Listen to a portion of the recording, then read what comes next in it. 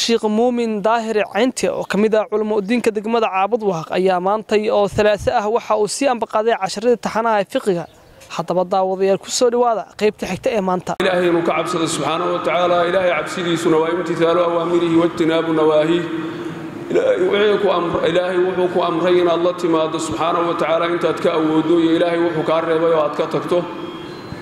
Waxaa ka mida ilaahay cabsidiisa subxaanahu wa tacaala halkan culummadu maalin walba dersi iyo cashar ayay ka soo jeediyaan dadka anfacaya oo cibaadadooda iyo salaadooda iyo dahaaradooda iyo wanaaggooda iyo aakhiradooda anfacahaya adduunkooda labadaba. Marka wuxuu ka mid yahay cabsida ilaahay ayuu ka mid yahay cilmiga in la barto culummadana xil weyn ayaa saaran xil weyn iyo hawl weyn ayaa saaran oo dadka inay cilmiga iyo aqoonta ay leeyihiin ay u soo gudbiyaan ayaa farad ayaa waajib ku ah dadkuna inay bartaan cilmiga dhammaan dadka dhammaan inay cilmiga bartaanna waajib bay ku tahay.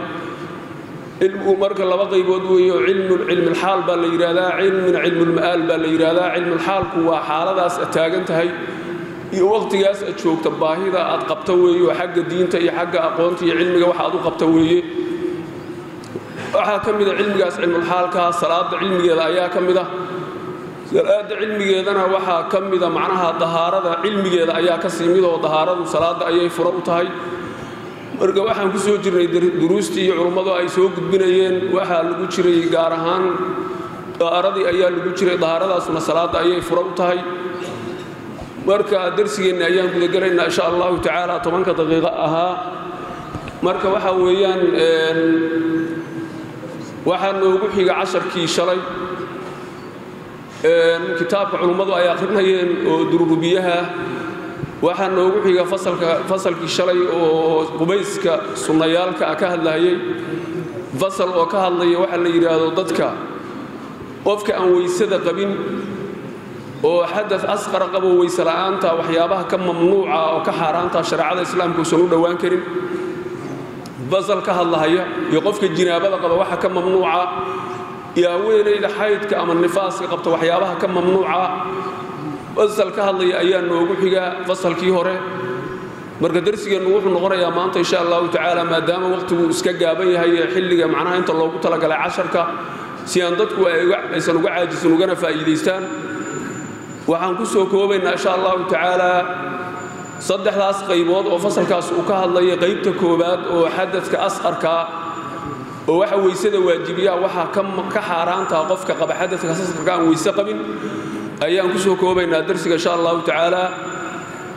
Waxa weeye afar shay weeye waxa qofka aan weysada qabin ka xaaraamtaa oo ka mamnuuca uusan u dhowaan karin ilaa inuu weysaysta ama beddelkiioo boora uu isticmaalo mooyaane. Qaarna saddex bay ku soo koobaan kutubtu oo mid bay macnaha waxa weeye mid kale dhex geliyaan oo kitaab qur'aana macnaha afartoodu waxa weeyaan waa salaad baa ka mamnuuca qof aan weyse qabin. Noocay rabtaba ha ahaato waxaa ka mamnuuca dawaaf kacbada la dawaafo. Waxaa ka mamnuuca kitaab qur'aana iyo wixii la mida taabashadooda. Xambaaridiisuna waa ka mamnuuc. Marka culummadu qaar saddexda ku soo koobaanoo xambaaridaas iska daayaan maadaama la yidhi lama taaban karo kitaab qur'aana dushiisa. Qof aan weyse qabin ama booraysnayn waxaa la gartay min baabil awlaa inay tahay xambaar. Taabashadii haddii la diiday xambaar baa ka sii daran wey marka afartaa shay ayaa ka mamnuuca qofka aan weysada qabin salaad iyo dawaaf iyo haddii ilaahay kuu samoogel yahay kacbada la dawaafo iyo musxaf taabashadiisa iyo xambaaridiisa. Marka salaad baa ka xaaraana qof aan weyse qabin ama beddelkii oo boora aan isticmaalin weeye oo asbaabaha booraysiga kale keenaa ilaa saddex weeye. Marka saddexdii macnaha waxyaabood haddii la helo dee qofkii inuu booraystuu ku qasban yahay waa markuu biyo waayo iyo markuu xanuunsan yahay uusan u dhowaan karin macnaha biyihii isticmaali karin ama jirkiisa qaybo ka mida u isticmaali karin. Iyo markii biyihii waa la hayaa laakiin waa loo baahan yahay oo baahi cabbitaan iyo nololeed iyo nafeed baa loogu baahan yahay. Markaasna lama ogola biyaha in lagu weysaysto waa laga booraysanayaa marka fasalkiisa ama baabkiisa ayuu ku imaanayaa oo looga warrami doonaa haddii alla idmo laakiin salaadaan ka warramaynaa hadda macnaha waxa weeye qofka aan weysada qabin ama aan booraysan salaad inuu ka tukado waa mamnuuc. Salaadaasu ama faral cayniya ha noqoto sida shanta salaadood ama faral kifaa'iya ha noqoto sida jinaasada ama salaad sunna ha noqoto. Qof aan weyse qabin waa xaaraam inuu salaad tukado.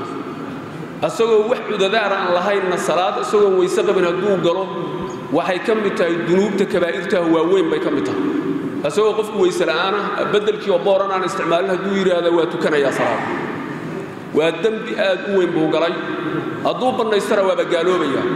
دوير هذا وإيب بناتها إن تكذانا ويسق بنا معناها عند دار الآن وقالوا بيا. مركز صلاة وحى الله مده قد بدأ الجمعة أيا الله مده وحى كان الله مده سدة تلاوة القرآن. وحى الله مده سدة شكر أيا الله مده salaadda ayay la mid yihiin qodbada jumcada khadiibku markuu akhrinayo waa inuu weyse qabo hadduusan weyse qabin khudbadaasu ma ansaxaysa mana shaqaynayso ama beddelkii oo boora usan la iman sidoo kale qofka xadadka asqarkaa qaba ee qur-aanka dusha wuu ka dareerin karaa kitaab qur-aana inuu taabto ayaa loo diidan yahay ama soo qaato laakiin dusha qur-aan uu ka haya waa ka akhrin karaa marka hadduu ku soo aado aayad saddatu tilaawa ay ku jirto uu akhriyo markaas saddatu tilaawa lama imaan kara waa ka mamnuuc asagana muu sujuudi karo. Maxaa yeele tahaara shardi waayo inuu qofku weyse qabo. Saddatu shukrina sidoo kale weeye nicmo ilaahay oo jadidaha cusub qofka hadday ku soo darrido waxaa sunnaa inuu qofku sujuud la dhaco ilaahay ugu shukrinayo subxaana wa tacala nicmada ilaahay hal ilbiriqsina nagama maqna. Oo nicmada ilaahay sida roobkay noogu hoobanaysaa. Hal ilbiriqsina nicmada ilaahay nama mooga ee waana nagu hoobanaysaa laakiin nicmo cusub oo jadiidaa baa la yidhi. Qofka hadday u xasisho waxaa markaa sunnaa inuu saddatu shukri la dhaco waa ka mamnuuc asagana macnaha haddii nicmadaas ay kuu timaado aad heshid adoo aan weyse qabin ma sujuudi kadhid waa kaa mamnuuc xaaraam wey hal mar ha loo ogol qofku asagoon weyse qabin inuu tukado. Qofkaas waxaa la yidhahdaa faaqidu duhuurayn baa la yidhahdaa labadii duhurba waa waaye biyo iyo boor midna ma hayo. Salaaddii wakhtigeediina waa galay biyo uu ku weysaysta ma hayo boor uu ku booraystana ma hayo. Markaas waa loo ogol yahay shareecada islaamka salaadda faralka ah oo markaas wakhtigeedu joogaana loo ogol yahay sunno sunno iyo waxyaabo kale midna looma ogola xataa. Marka qofkaasunbaa loo ogol yahay laakiin qof biyo helaya ama hadduu hadda biyihii waaye ama cudurtoobeen boor helaya looma ogola salaad inuu tukado. Salaaduna noocay tahayba waa ka mamnuuc farad kifaaya farad cayniya salaad sunnaa. Saddexdaa shayna waa la mid waxaa kaloo ka mamnuuc oo ka xaaraana qofka aan weysada qabin dawaaf beydka ilaahay kacbada ah inuu dawaafo saddexdiisii qayboodba dawaafka dawaafku saddex qaybood ayuu noqdaa mid waxaa la yidhahdaa dawaafu lifaada la yidhaahdaa waa dawaaf rugni ah oo min arkaani alxaji ayuu ka mid yahay midna waxaa la yidhaahdaa dawaafu lquduum oo waa dawaaf sunno ah oo markuu qofku xaj iyo xaj iyo cumro yuu xirmo nusug iyo camalba yuusa soo xirane maka markuu tago waxaa sunnaa inuu kacbada soo dawaafo midna waxaa la yidhahdaa dawaafulwidaac baa la yidhahdaa sagoontii. Qofkii maal meel ka yimid oo ambabaxaaya ama meeshaasu ha dhowaata ama ha fogaatay maka ka tegaya inuu soo sagoontiyo oo soo dawaafo kacbada ayaa yaa waajib ah. Marka saddexdiisaa qayboodba waa ka mamnuuc qof aan weyse qabin oo nebigu wuxuu yidhi sala allahu calayh wasalam addawaafu bimansilati salaad. Dawaafku wuxuu la mid yahay salaadda xagga tahaarada iyo xagga cawrada asturkeeda ilaa laakina waxaa la xalaaleeyey macnaha waxaa weeye nudqiga qofku inuu hadlo oo uu salaadda kaga duwayo qofku wuu hadli karaa isagoo dawaafaya. Marka saddexdiisa qaybood dawaafkana waa ka mamnuuc qofka isagoon weyse qabin ama cawradiisu ay faydan tahay oo dhankaas salaad buu kala mid yahay. Midka labaad saddexaadna waxaa weeye oo ka mamnuuca qofka aan weysada qabin waa in waxaa la yidhaahda kitaab musxaf u taabto kitaab qur'aana inuu taabto أسوغو ويسقبين وحرام لما أقرأ بدل كي وبورن على إيمان وبوريسن لما أقرأ إنه مصحف كتابته مصحف كواحد الله من الشيء كسلو القرآن كل أقرأ يا للدراسة يا للدوام لو أقول لقي مثل شيء مصحف كوكب بوك أو كله الله أو كله شيء القرآن كل قرآن يا هاي سيد كتاب القرآن كاو كله الله أقول ترى إلا جاء كسلو لجاو لجا برتو هم مصحف كوكب دائم كل هاي لجا نبرنا يو لجا كسلو سيد الله حي بوك تريو asaguna waa la mid qof aan weyse qabin inuu taabto xaaraam weeye laa yamasu lqur'aana ilaa daahirun baa soo aroodhay qur-aanka ma taabto ilaa qof daahira mooyaane laa yamasuhu ila almudaharuuna ilaahay baa qur-aanka ku yidhi kuwa daahirkaa mooyaane kuwa kale uma dhowaadaan yaysan u dhowaanin weeye macnuhu waa nafyi bimacnaa nahyi ah weeye yaysan u dhowaanoo taaban weeye qur-aanka kariimka